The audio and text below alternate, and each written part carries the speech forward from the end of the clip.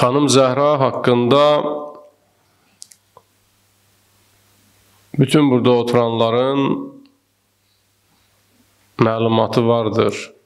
Bu iki gecədə xüsusilə xanımın fəzilətləri barəsində danışdıq. Qeyd etdik ki, bütün müsəlmanların mötəbər hədis mənbələrinə və Quran ayələrinə əsasən xanım Zəhra salamullah aleyha fəzilətli xanımlar içində ən fəzilətli və ən üstün xanımdır.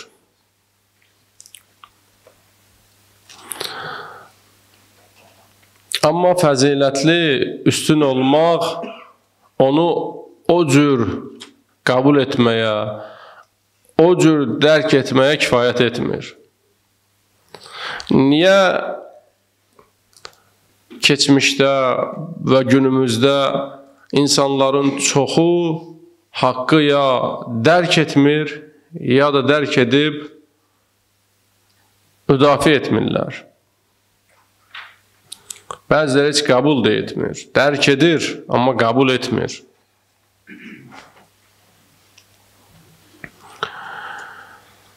Xüsusilə Allahın elçilərinin yer üzündə olan canişinlərinin tək qalmasına səbəb, daha dəqiq desək, müdafiəsiz buraxılmalarına səbəb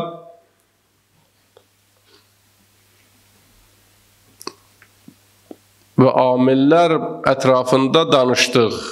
Dünən qeyd etdik ki, insanların rahat tələbliyi, başım ağramasın, nəyimə lazımdır, bu cür baxışı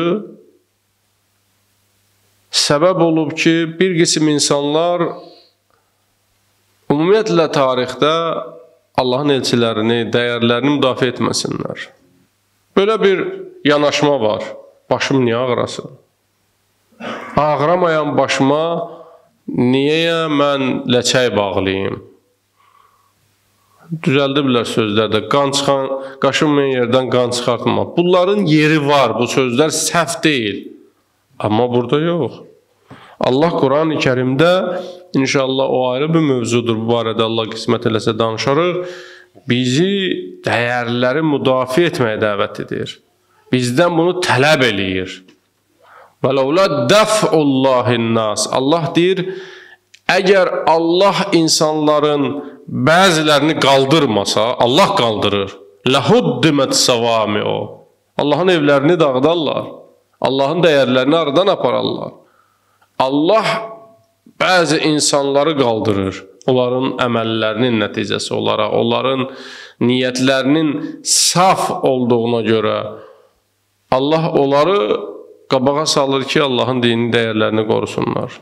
İndi burada ola bilər, içəridə də bəzi insanlar olar, bu insanların içində gəlirlər, cildə girirlər, o da ola bilər. Səbəblərdən biri rahat tələblidir. Əslində bugün bir səbəb deyəcəm, bütün bunlar bunun içində cəmlənib.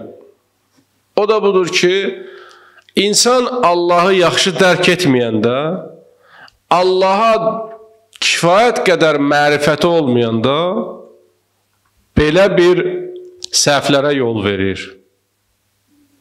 Günümüzdə həyatımızda biz bunu görürük mərifətlərin ən üstünü, ən alisi Allaha olan mərifətdir. Siz görürsünüz Quran-ı Kərimdə hansı ayələr ki, Allahın özü barəsindədir. Allah haqqında bizə mərifət verir, bilgi verir. O ayələri oxumaq daha savabdır. Məsələn, ayət-i kürsü kimi. Allahın özü barəsində sənə bilgi verir. İnsan Allahı düzgün tanımasa, Allaha dərin mərifəti olmasa, imtihan və sınaq məqamlarında alnı açıq çıxa bilməz.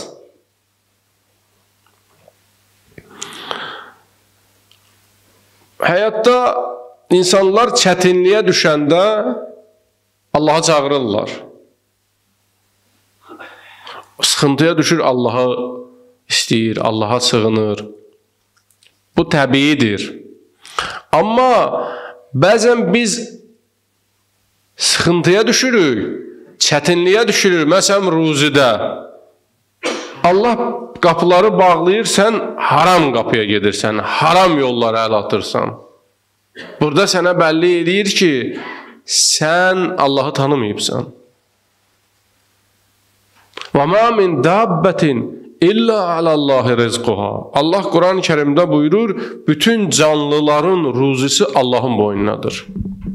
Bu hər bir insanın, hər bir şəxsin rastlaşdığı bir məsələdir. Hər bir insan bu sınaqdadır. Orada Allaha olan mərifətini üzə çıxardır, təzahür edir. Sıxıntıya düşüb, bu qapıya gedir, ruzu yoxdur. O qapıya gedir, qapı üzünə bağlanır. Sonra bir haram qapını açır. Hələ görüm bu, bu İyyəkə nə'budu deyirə, təkcə sənə ibadət eləyirəm. Burada öz bəndəliyini göstərir ya yox. Allah Quranda buyurur və mən min dabbətin illə alallah rizquha. Bütün canlıların ruzusu mənim boynumadır. Uşaq anadan olan kimi Allah onun qidasını hazırlayır. Uşaq dünyaya gələn kimi Allah onun qidasını, ona uyğun qidasını, onun üçün lazım olan qidanı hazırlayır. Bu deməkdir ki, Allah səni gətirməmiş, sənin ruzunu fikirləşib. Allah deyir, nəinki insanların, bütün canlıların ruzusunu mən düşünürəm və mənim öhdəmədir. Bir gün İmam Sadiq ağa sahabələrdən birini gördü, gördü çox narahatdır. Dedi, niyə narahatsan belə? Dedi, ağa, vəziyyətim yaxşı deyil sıxıntılarım var. Xüsusilə maliyyə sıxıntılarım var. Ağa gördü ki, bunun bu sıxıntısının əslində kökündə, dərinliyində Allaha olan zəif mərifəti durur. Və Allahı tanımır. Allah bəzən sıxıntı yaradır ki, sən onun qapısında daha çox yalvarasan, daha çox göz yaşı dökəsən.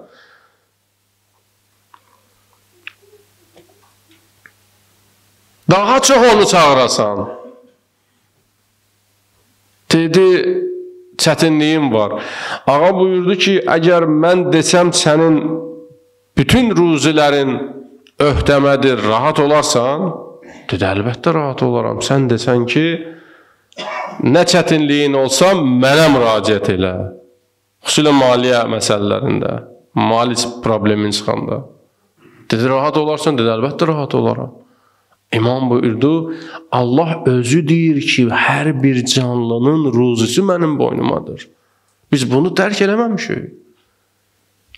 Çətinliyə düşübsən, eybi yoxdur. Alnımı qoy səcdəyə, Allahdan ruzi istə.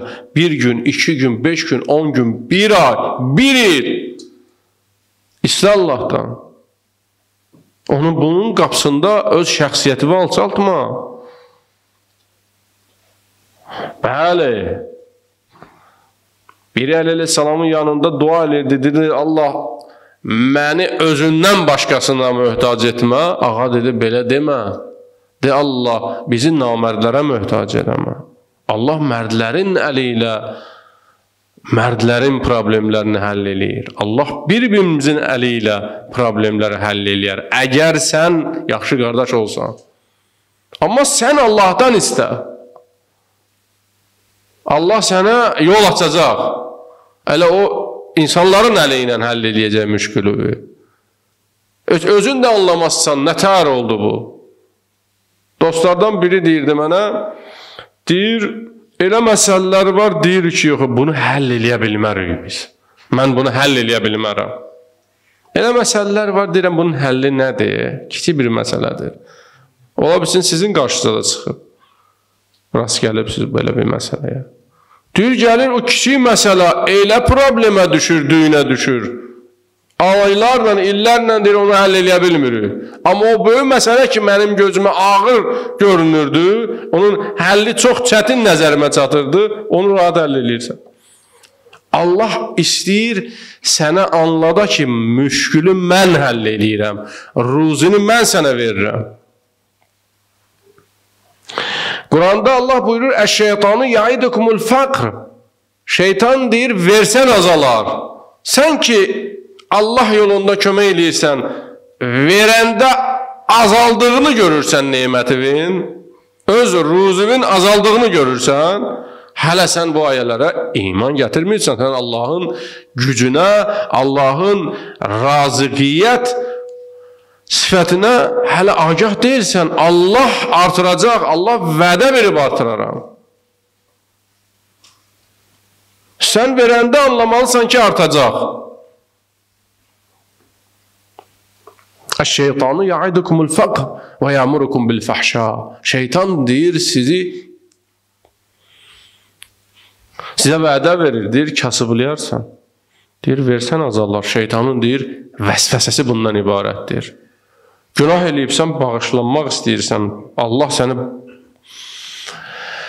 İstəyirsən bağışlasın, şeytan deyir bağışlamaz. Get qabağa. Daha sən çox gedibsən, çox günahdasan.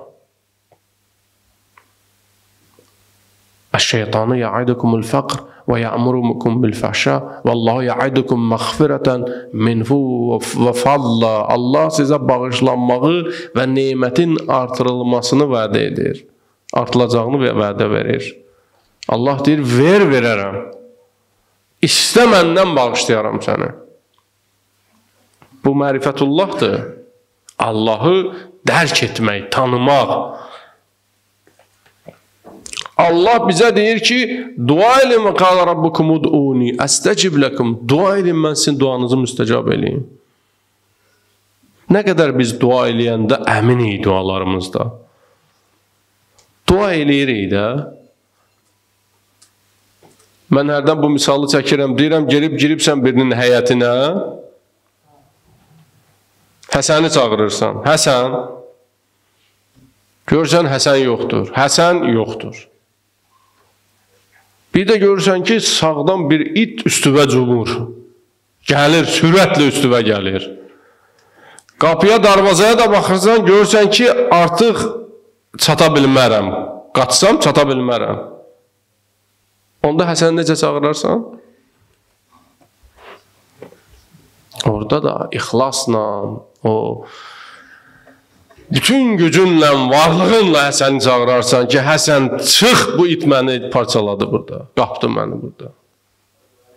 Allah bəzən o müşkülləri çıxardır ki, sən onu ixlasla çağırasan.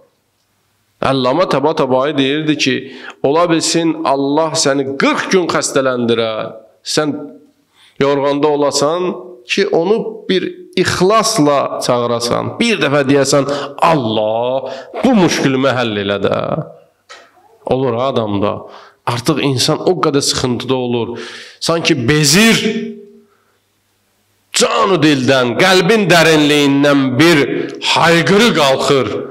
Allah, bağışla məni, xəstəliyimə şəfa ver yenə.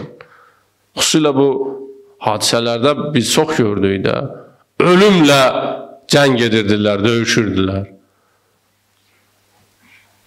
Bir nəfər mənə danışırdı, deyir, dənizdə, bu da balıqçı idi. Deyir, biz başa düşmürdük dua nədir. İndi ruhanilər danışırdı mənbərdə, biz oturur, hə, dua da deyir. Anlamırdıq, deyir. Bir dəfə düşdük, deyir, dənizə, fırtına oldu, üç gün, üç gecə dənizdə qaldıq. Deyir, mən gördüm, onlar ki, deyir, Allahdan, dindən uzaq, o nətər dua edirdim. Mən özüm, deyir, nətər Allaha çağırırdım, deyir. Onu, deyir, təsəvvür etmək mümkün deyil. Allah bəzən bütün problemləri yaradır ki, sən onu çağırasan. Deyəsən, Allahım, qəlbinlə çağırasan. Onda ayılacaqsan. Onda həyatı dərk eləyəcəksən. Yaqub peyğəmbər Yusufu nə qədər çağırdı, nə qədər ağladı.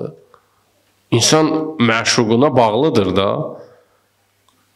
Allah Quran-ı Kərimdə buyurur: "Fələmmə fəsələtil ir qala abuhum inni la'cidu la'cidu riha Yusuf." Karvan hərəkətə keçən kimi Yusuf yaxınlaşır Yaquba. Yaqub dedi ki, mən Yusufun qoxusunu hiss edirəm. Neçə illər üstündən keçib. Qurandır bu. Bu kimsə deyər ki, adi bir sözdür. Allah kələ Allah deyir, o Yusufun qoxusunu hiss elədi. Eşq belədir, məhəbbət elədir. Ana, bala 2000 kilometr, 3000 kilometr ondan uzaqdadır. Bir müşkülə düşür, ana orada hiss eləyir ki, nəsə balamın problemi var. Çünki o qədər bağlıdır, onu dərk eləyir, onu hiss eləyir. Peyğəmbərdən belə bir kəlam vardır. Əl-aqilu yəkfihil ibara. Ağıllı insana söz kifayətdir. Vəl-arifu yəkfihil işarə. Arifə işarə kifayətdir. Oradandır. Bizdə dillərə arifə işarə kifayətdir. Amma vəl-vəliyyu yəkfihil irada. Övliyalara iradə kifayətdir. Onlar ürəyindən keçirəndə Övliyalar onu başa düşürlər. Allah dostlarını tanıyır. Allahın istədiyini övliya dərk edir. Ona ayə oxumaq lazım deyil. Ona nəsə xəbərdarlıq etmək lazım. O vücudu ilə onu dərk eləyir. Peyğəmbər Əlinin nə istədiyini, Əli əleyhissalam Peyğəmbərin nə istədiyini danışanda yox, işarə ilə yox, qəlbi ilə duyurdu, canı ilə duyurdu. Xanım Zəhra ilə Həzrət Əli əleyhissalam arasında olan bağlılıq qəlbi bir bağlılıq idi. Söz demək lazım deyildi. Bəzən söz deyirsən, söz anlamır, işarə edir, yox.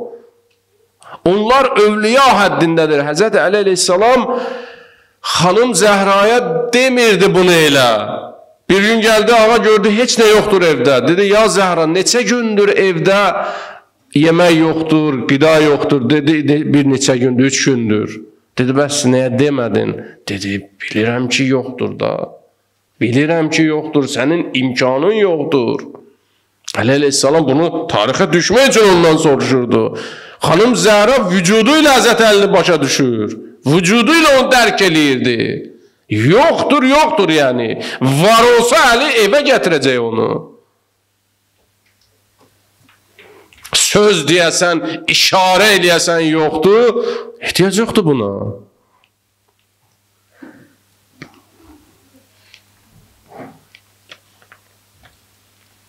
İmam Səccad ağa Əbu Həmzə Somali duasındadır. İlahi, la tuaddibni bi uqubatik. Allahım məni cəzalandırmaqla məni qan qandırma, məni başa salma. Gəlib hara çatır ki, insan cəzalananda qanır. İmam bizim üçün onu deyir. Yəni o həddə gətirməyin ki, Allah səni başa salmaq üçün səni cəzalandırsın.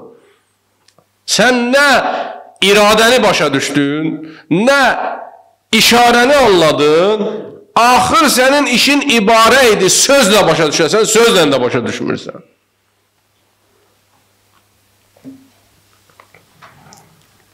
İnsanın mərifəti artanda Allahın nə istədiyini anlayır. Ona söz də heç lazım deyil. Ona heç işarə də lazım deyil. Aşiqlə məşuq arasında bir rabitə var. Əli əleyhissalamdan soruşdular, zikr nədir? Dil Allah Quranda deyir: "Əlləzine yezkurunallah qiyaman və qudan." Möminlər, ağıllı insanlar Allahı oturanda, duranda yad eləyərlər, zikr eləyərlər. Zikr nədir?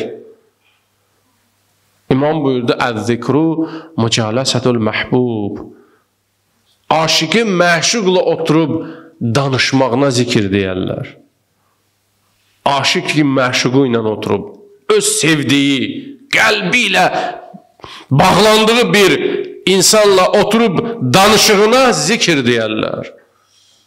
Onu ayırmaq mümkün deyil. Onun üçün zaman yoxdur orada. Zaman sürətli keçir. Dərd hiss etmir.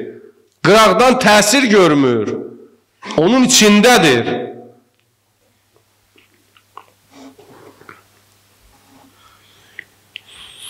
Allah Quranda buyurur: "Vesta'inu bis-sabri was-salah ve innaha lekabiratun illa alal xaşin." Namazdan, orucdan kömək alın.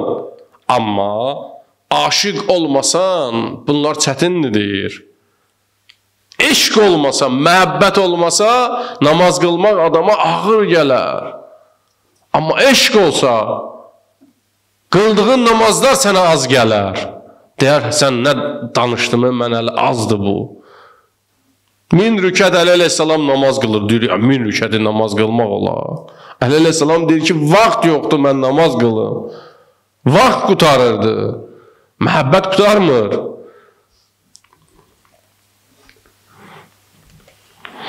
İmam Əli əleyhissalam buyurur: "A'lamun nas billah əksəruhum lehu məs'ələ." Allahı ən çox tanıyanlar Allahdan ən çox istəyənlərdir. Oturar ancaq Allahdan istəyər. Allahın öz təkdə müşküllərini yox. Bəşəriyyətin, cəmiyyətin Nəcül Bəlağədə var əleyhissalam insanlara görə ağlayırdı. İnsanların müşküllərini, çətinliklərini görəndə. Allahı tanımaq harda görsənir? Mübarizədə, həyatda hər bir insanın düşməni var. Hər bir insanın maneələri var.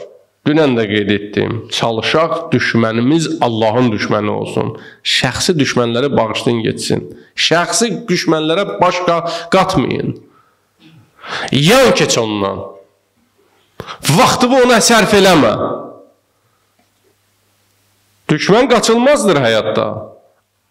Amma bir var ki, sən bundan Allaha görə düşmənsən. Bu Allahla düşməndir. Cildə girir. Pərdələməyə çalışır. Dindarlar içinə girir. Amma bilirsən bunun niyyəti nədir? Allahın düşmənidir bu. Bırax öz şəxsi düşmənləri, düşmənçiliyi onunla elə.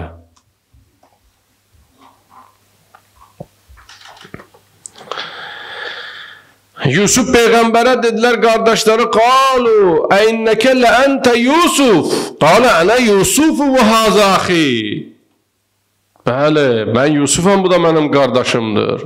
Qad mənnallahu aleyna. Allah bizə minnət qoydu. Allah məni bura yüksəldi.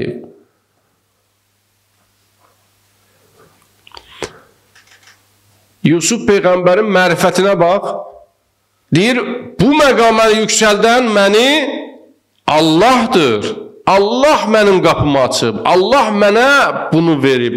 Mənlik bir şey yoxdur. Bu mərifətullah mübarizədə Allahı görmək, Allahın dəstəyini almaq, Allaha güvənmək. Sən gərək düşməni və Allah düşməni eləyəsən ki, düşmənin Allah düşməni olsun ki, Allaha güvənəsən. İnnehu men yettaqi və yasbir fa innallah la yudhi ecrel muhsinin. Hər kəs təqvalı və səbirli olsa, Allah onu mükafatlandıracaqdır, onu qalib eləcəkdir. Mübarizədə qardaşlarım, dinimiz deyir, İslam deyir, mübarizədə xəttdən qırağa yerə çıxmayasan. Düşmən də Allahın düşmənidir. Bəqərə surəsində deyir: "Və qatilu fi sabilillahillezine yuqatilunakum və la ta'tadu. İnnallaha la yuhibbul mu'tadin." Ayə qızılla yazılmalıdır, qızıl suyu ilə. Allahın düşmənləri ilə vuruşun. Bilirsiniz də, kafirlər iki qismdir. Bir bu kafir döyüşü ilə məşğul, bir də ki, sənlə vuruşur, dinlə, Allahla mübarizə aparır. Deyir, Allahla mübarizə aparanlarla siz də mübarizə aparın. Amma və la ta'tadu, həddinizi aşmayın. Sənin onun özünlə problemin var, onun uşağınla problemin olmasın. Onun ailəsi ilə problemin olmasın. Onun evi ilə problemin olmasın. Qanunlar çərçivəsində. Və la ta'tadu, həddinizi aşmayın. İnnallah la yuhibbul mu'tadin. Siz qərb kinolarına baxın, bir nəfəri öldürüblər, bunlar bir kino çəkiblər ki, o bir nəfərin qisasını almaq üçün yüzlərlə insanı öldürürlər. Buna deyirlər, insanların təhtə şuuruna, şuuru altısına yerləşdirirlər ki, bəli, biz öz qisasımızı almaq üçün minlər, milyonlarla insanları öldürə bilərik.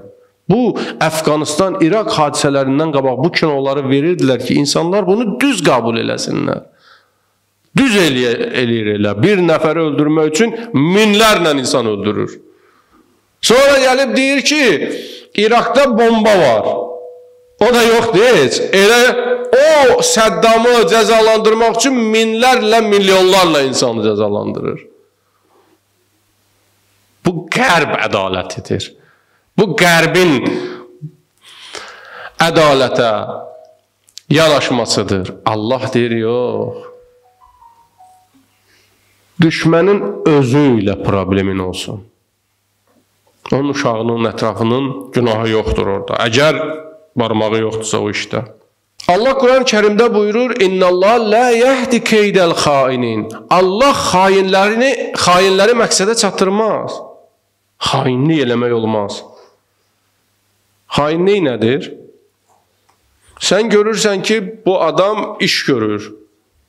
Sən də xaincəsinə ondan qabağa keçmək istəyirsən Allah adı ilə. Xəyanət eləyirsən, onun haqqında yalan uydurursan, onun barəsində iftiralar yaxırsan, nədir, nədir sən məqsədvə çatasan. Hətta sən din cildəndəsən, din paltarındasan, görür adam belələrini. La, sən Allaha iman gətirib, sənin mərifətin yoxdur. Allah deyir ki, Yusuf Peyğəmbər Allah xainləri hidayət eləməz. Niyə? O sahabələr ki, Peyğəmbərin yanındaydılar, Əli əleyhissalamın yanındaydılar, onlar ən çətin gündə belə dayandılar. Məsələn, Əbu Zər kimi. Bilirsiniz Əbu Zərin başına nə oyunlar gətirdilər? Niyə? Onlar Allahı tanır. Onlar bilirdilər ki, Allah xainləri qalib etməz. Kimdir tarixdə qalib? Yeziddir yoxsa İmam Hüseyndir? Muaviyədir yoxsa Əlidir? Hardadır Muaviyə? Mən Muaviyənin qəbrini görmüşəm yaxından. Yaxının düşmək olmurdu. Zirzibilindən və o natəmizlikdən. Bağlayıblar dəmirlə, cəmiyyət girib içinə və onu olduğu yerində təhqir etməsinlər. Mən Suriyada onun qəbri üstünə getdim. Ziyarət demək olmaz ona. Odur ərəb şairi yazır, deyir: "Ay Muaviyə, hardasan? Əlinin qəbrini dünya ziyarət edir. Sənin qəbrində ancaq tarakanlar əşarətlərdir." Söhbət hələ qəbirdən də getmir ha. Kimin məntiqi yaşayır? Əli əleyhissalam bilirdi ki, Allah xainləri məqsədinə çatdırmaz. Möminsən, sənin mərifətin olsun, baxışın olsun.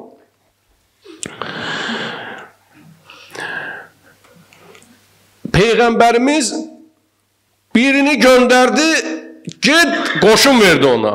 Bilirsiniz özünüz adını, yaxşı bilirsiniz özdə. Göndərdi, get qoşunu verdi ona, o Yahudilərin qalalarını fəth elə. Bu Yahudilərin üç qəbiləsi var idi. Bir qəbiləsi onlarda təhlükə yaratmırdı. İki qəbiləsi xəyanət eləyirdilər. Necə xəyanət eləyirdilər? Müsəlmanlara qarşı kafirləri təhrik eləyirdilər. Bütpərəstləri silahlandırırdılar. Özləri qalırdılar qırağa. Amma Əhzab döyüşündə onlar da girdilər döyüşə. Əhzab yəni koalisiya. Bugün koalisiya yaradıblar amma çox Ukraynada, Rusiyaya qarşı. Bu koalisiyada da Yəməndə də yaratdılar onu. Birləşirlər hamısı. Əhzab döyüşündə. Peyğəmbər göstəriş verdi ki, bu qalalar fəth olunmalıdır. Bunlar şeytan yuvalarıdır. Biz onlara fürsət vermişik, yaşayırlar burada. Ölkənin təhlükəsizliyindən istifadə edirlər, kimsə onları toxunmur. Bunlar bəd ayaqda. Düşmənlə biz üzə olanda həm onlara mənəvi dəstək olurlar, həm maddi dəstək olurlar. Verdi o birinciyə, dedi, get qoşunu fəth elə o qalanı. Qayıtdı, gəldi. Əli boş. O ikincisini göndərdi. Dedi, la utayanna rayətə qədənə alə rüculin. Sabah bu bayrağı elə bir kişinin əlinə verərəm ki, Allah da, Rasulun da onu sevir, o da Allah və Rasulunu sevir. Kərrarun qeyru fərrar. O şir kimi hücum edər. O Ferrari deyil. Kimdir Ferrari? O Ferrari deyil. Bunlar öz yerində. Həşr surəsinin ikinci, birinci, ikinci ayələr barədə nazil olub. Huvəllezî əxrəcəllezîne kəfəru min əhlil kitab min diyarihim li avvalil haşr. İlk dəfə olaraq Yahudiləri qaladan çıxardan Allah o Allahdır. Mə zənantum ən yaxrucu. Siz güman eləmirdiniz ki, onlar qalalardan çölə çıxa bilərlər. Onlar məğlub ola bilərlər. Baxın Allah nə gözəl müqayisə eləyir. Zannu ennehum mani'atuhum husunuhum min Allah. Onlar da elə güman eləyirdilər ki, qalaları onları qoruyacaqdır. Onların qalaları o qədər möhkəmdir ki, o qalaları onları qoruyacaq. Niyə onlar məğlub olacaqlarına ehtimal vermirdilər? Çünki qalalarının möhkəmliyinə inanırdılar. Siz niyə qalib olacağınıza inanmırdınız? Onu demir Allah. Hörmət eləyir möminlərə. Çünki yəni Allaha mərifətiniz zəif idi. Onlar qalaların möhkəmliyinə inandıqları qədər siz Allahın böyüklüyünə inanmırdınız. Problem bu idi. Amma hansı kişinin əli ilə açılır, o qalalar fəth olunur, bu ayə onu təriflidir. O kişi Allahu Əkbərə inanmışdı. Allah daha böyükdür. Allah daha güclüdür. Mərifətullah. Allahı tanıdıq, qalib olduq. Allahı tanımadıq, deyirik ki, bizim sayımız onların sayından azdır. Haçan biz sayla qələbə çalmışıq ki? Biz imanla qələbə çalmışıq. Bizim dəyərlərimiz beynəlmiləl dəyərlərdir. Sən Azərbaycan dilində danışırsan, ingilis başa düşmür. İngiliscə o danışır, sən başa düşmürsən. Amma ədalət dilini, mərifət dilini, əxlaq dilini, mərdlik dilini, Allahın sevgi dilini hamı başa düşür. İxlas dilini hamı anlayır. Şücaət dilini hamı qanır. Sən mərifətullahı göstər, sən Allaha olan eşqini göstər, səni başa düşməyənlər də sənin dalınca düşəcək. Sənin dilini anlamayanlar, sənin qəlbini anlayırlar. Kimliyini dərk eləyirlər. Ancaq mərifətullahla ola bilər. Sən Allahı tanıyasan. Ona görə xanım Zəhranı Hələ əleyhissalamı tək qoydular ki, bunların mərifəti zəif idi. Bunlar Allahı yaxşı tanımırdılar.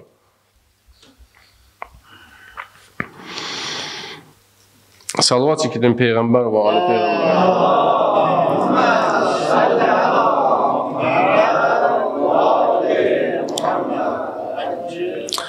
Həzrəti Musa aleyhissalam qoşunu ilə hərəkət edir, Firon da arxadan gəlir. Fələmmə tara'al cəma'an qala ashabu Musa innə ləmudrakun. Qoşunlar bir-birini görəndə Musanın ətrafında olanlar dedilər innə ləmudrakun. Bizi yaxalayacaqlar. Qala kəllə. Musa peyğəmbər dedi, yox, innə ma'ya rabbi səyahdin. Allah mənimlədir. Allah mənə yol göstərəcək. Axı qabaqdan Nil çayı keçir, arxadan da Firon gəlir. Nə tər xilas olacaq? Allah deyir, "Fauhayna ila Musa an idrib bi asakal bahr." Musaya vəhy etdi, əsanı vur Nil çayına. Fənfələqa fəkana kullu firqin kattawdil azim. Su dayandı, bir dağ yarandı. Bunu Allah bizə nəyə deyir? Allah nəuzu billah nağıl danışır bizə. Allah bizə demək istəyir, siz Allahı tanıyın, Allahın mərifətinizi artırın. Ən müşkül zamanlarda da Allah sizin qapınızı açar. Həman bəni İsraillilər Nil çayını Allah onlara ayardı. Ən çətin məqamda onları xilas elədi. Musa peyğəmbər onlara dedi ki: "Ya qavm idxulul ardal muqaddasatallati muqaddasatallati kataballahu lakum." Gəlin girin bu Beytül Müqəddəsə azad edin. Qalu inna fiya qavman cəbbarin. Dedilər onu azad eləmək olmaz. Onların harupları var. Onların nə bilim güclü silahları var. Aa, oraya yaxınlaşmaq olmaz. Kim dedi gidək Beytül Müqəddəsi azad eləyək? Musa dedi, düzdür? Orada deyir, qala raculan, iki nəfər dedi ki, ənəmallah aleyh, yaxafuna, Allahdan qorxandılar, xüsusiyyətləri bu da yaxafuna, Allahdan qorxan idilər, ənəmallah aleyhima. Onlara Allah nemət verirdi, Girək Allahın izni ilə bunu biz azad eləyərik. Girək bura. Allahın izni ilə, Allahın tədbiri ilə biz qalib olarıq. Musa peyğəmbər deyir, girək. Oradakılar deyir ki, "İnnə fi qavmən cəbbarin", bizim gücümüz çatmaz. İki nəfər orada deyir, Allah deyir, ona niyə onlara nemət vermişdi. Allah onlara mərifət nemətini vermişdi. İman nemətini vermişdi. İndi də həmin yol var. Musanın bugünkü davamçıları deyir ki, ora girəcəyik. Bir dəstə deyir, yox, bizim gücümüz çatmaz. Onun nə bilim nağılları var. Amma iki dənə kişi deyirdi, yox, biz elə sənlə ey Musa. Bu ayrı mövzudur. Bunlar dedilər, biz gedirik evə, Musa, fədəhəb əntə və rabbuka fəqatilə innə hahunə qaidun. Get Allahınla bircə Beytül Müqəddəsi azad elə. Qayıtdılar. Gündə getdikləri yol idi. Evə gedirlər də. Allah deyir ki, Musa peyğəmbər deyir, ya Allahım, la əmliku illə nəfsi və axi. Mənim yanımda özü mən bir qardaşım Harundur və bir neçə nəfər. Allah deyir, qala fə innəha muharramatun aleyhim 40 sənə. Onlar 40 gün gedib evə çata bilməyəcək. O səhrada elə sərgərdan gəzəcəklər. Gündə getdikləri yoldur. Evlərini tapa bilmədilər. Əgər Allahın xəlifəsi ilə olsan, Nil çayı, Nil çayını yararsan, keçərsən. Allahın xəlifəsi ilə olmasan, açıq bir havada, yolun bəlli olduğu bir küçədə azacaqsan. 40 il özdə. Bu mərifətullahdır. Allah bizə bunu aydınlaşdırır. Quranda bu ayələri ona görə nazil eləyib. Bu keçmişdə olan hadisələrə açıqlamalar gətirir ki, ay müsəlmanlar, ay möminlər, görün, anlayın, başa düşün ki, Allahın rəhməti, Allahın yardımı nə vaxt gəlir?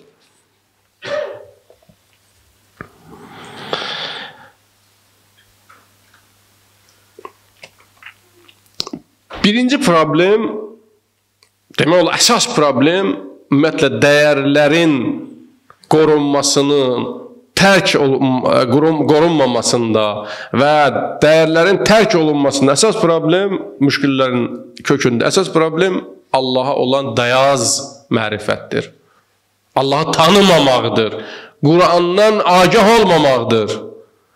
Bizim zahirimiz müsəlman zahirdir paltarımız, üzümüz, gözümüz, geyimimiz əksəriyyətin belədir, təəssüflər olsun. Amma düşüncəmiz elə qərblilər kimi düşünür. Ya kapitalist kimi düşünür, ya da kommunist kimi. Kapitalist nədir? Deyir 5 manatı versəm 10 manatım var, 5 manatım azalır da. 10 manatı 5 manatı versəm 5 manat azalır. Bunu kapitalist deyir, kommunist deyir. Allah elə demir. Allah deyir sən 10 manatdan 5 manatı versən, onun üstünə 10 bərabər gələcəyin hansı? Mən cəbil həsənəti fələhu əşru əmsəl. Ən azı 10 bərabər. Digər ayədə deyir 700 bərabər. O sənin ixlasından asılıdır. Mərifətullah olmayanda belə problemlər yaranır. Xanım Zəhra salamullah aleyhanın, Hələ əleyhissalamın məzlumiyyətin kökündə bunlar dururdu. İmam da baxırdı, Əhlibeyt baxırdı, insanlar Allahı dərk eləməyiblər. Allahı anlamayıblar. Allah ona görə də görürsüz qeybəti uzadır. Qeybət kubrada İmam Zaman ağa qeybətdədir. Niyə?